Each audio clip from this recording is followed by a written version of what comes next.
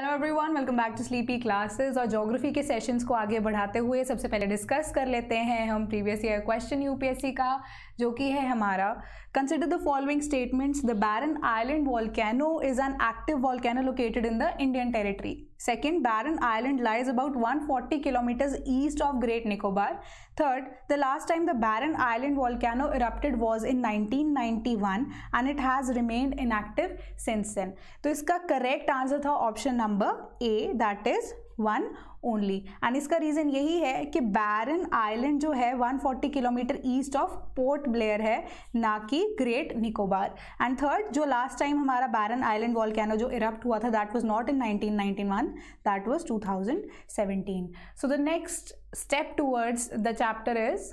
हमारा चैप्टर यही है distribution of oceans and continents that is chapter number four NCERT class eleven of geography तो हम देखते हैं सबसे पहले इसमें बात करते हैं हम कॉन्टिनेंटल ड्रिफ्ट थ्योरी की बात करते हैं। तो हम कंसिडर करते हैं इस चैप्टर में कि हमारे जो ओशंस हैं और हमारा जो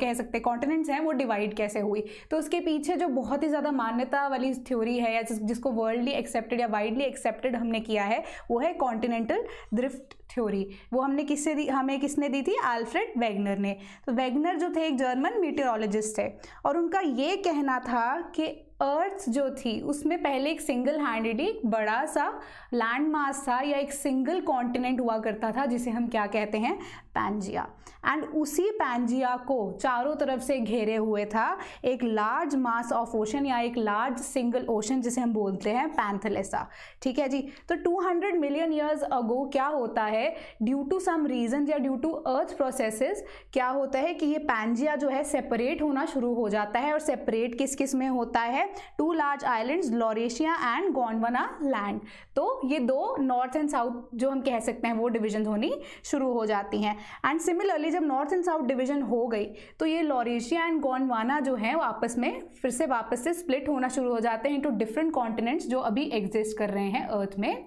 इस टाइम पे।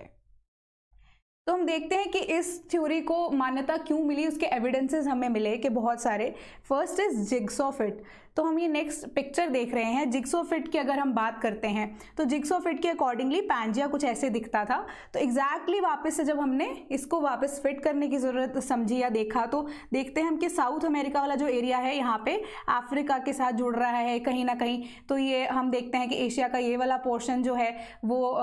अफ्रीका के साथ वापस से कहीं ना कहीं जुड़ रहा है। तो इट वॉज़ अ परफेक्ट या कंप्लीट हम कह सकते हैं jigsaw fit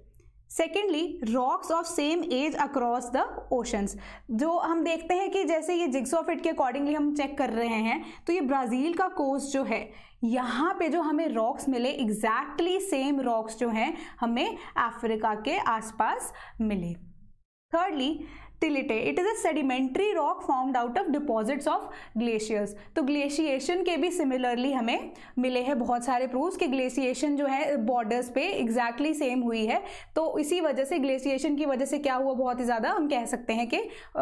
ये वेजिटेशन फॉर्मेशन के ऊपर भी डिपेंडेंट है या फ्लोरा फोना की बात करें तो इसी वजह से ये हम कह सकते हैं कि कहीं ना कहीं ये जो थ्योरी है कॉन्टिनेंटल ड्रिफ्ट की वो सही है। साथ ही साथ प्लेसर डिपॉजिट्स की बात करते हैं। प्लेसर डिपॉजिट्स यानी कि गोल्ड डिपॉजिट डिपॉजिट्स हम देखते हैं गाना में भी हैं and the same is in Brazil तो वो एग्जैक्टली सेम सिचुएशन आ जाती है वहीं पे भी कि गोल्ड और जो गोल्ड की या मेटल्स की प्लेसमेंट है, हम देख सकते हैं कि इंडिविजुअली वहाँ पे ही दोनों आपस में है जो जिग्स ऑफ़ इट में इंटायरली फिट हो रहे थे. Similarly distribution of fossils fossils जो हैं सेम एग्जैक्टली इंडिया में भी पाए जा रहे हैं और अफ्रीका में भी पाए जा रहे हैं. अगेन वील सी दैट कि अफ्रीका और इंडिया जो है, यहाँ पे मिल रहे थे. तो जिस वजह से फॉसल्स भी हम कह सकते हैं सिमिलर हैं. एंड एंड में यही कह सकते हैं कि जिक्सो जो फिट वाली थ्योरी थी या कॉन्टिनेंटल ड्रिफ्ट वाली थ्योरी थी, वो इसी वजह से ही मानी गई एक्सेप्ट की गई। तो इसके रीजंस क्या क्या दिए गए? इसके पीछे दो रीजंस दिए गए हमें। तो पहला था टाइडल फोर्स तो टाइडल फोर्स क्या होता है? टाइड्स क्या होती हैं? जो gravitational force of earth and moons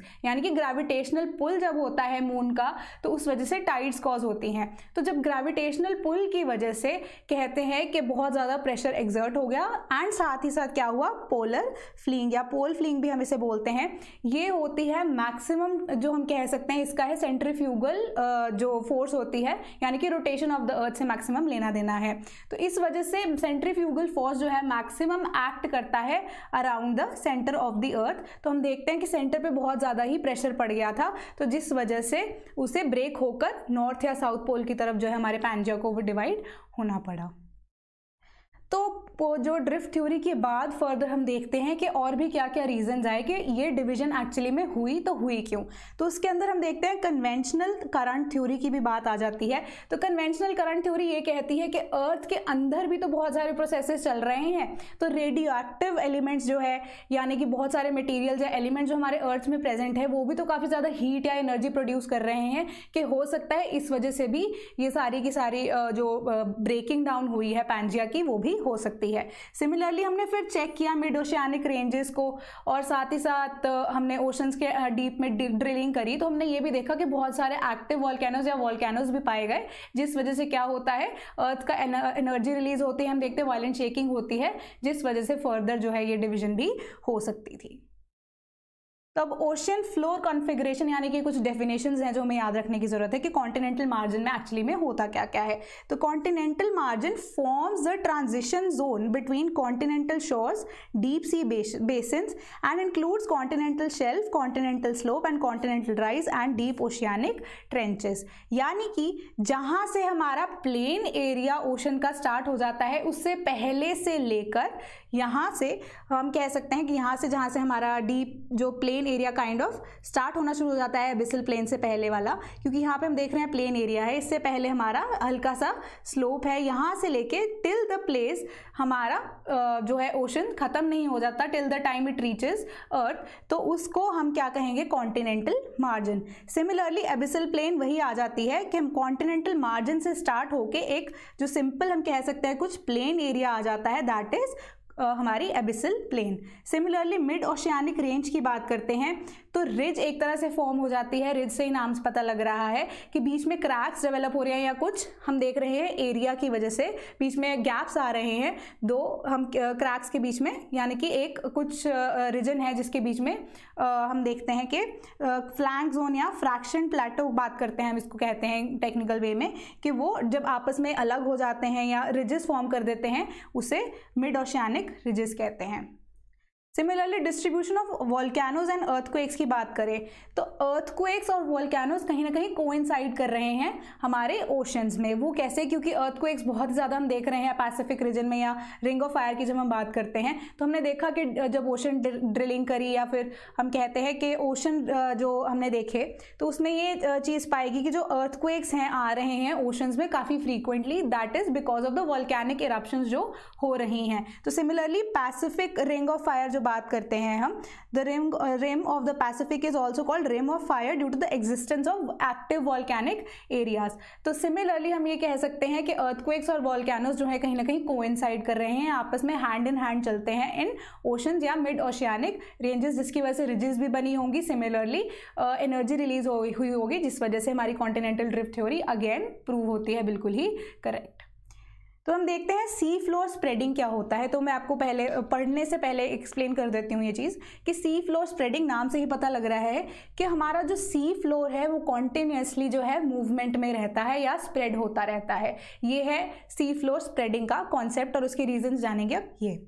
तो हम पढ़ लेते हैं एक बार. Constant eruption at the crest of oceanic ridges causes the rupture of oceanic crust and thus new lava wedges out pushing the oceanic crust on I the side the ocean floor thus spreads he further mention that the ocean floor that gets push due to volcanic eruption are the at the crest sinks down at the oceanic trenches and gets consumed तो वही है कि जो volcano जब erupt होता है ocean के बीच में तो हमारा जो क्रस्ट है या जो ओशियानिक हम क्रस्ट कह सकते हैं, वो ब्रेक डाउन हो जाती है और लावा जैसे ही बाहर आता है तो वो जो क्रस्ट है साइड पे कहीं ना कहीं हम देख रहे हैं, चली जाती है या शिफ्ट हो जाती है, जिस वजह से क्या होता है सी फ्लो स्प्रेड होना शुरू हो जाता है। So all along the mid oceanic ridges volcanic eruption are common and they bring huge amounts of lava to the surface of this area again lava ऊपर आएगा क्रेस्ट साथ में ही स्लिप होती रहेगी। The rocks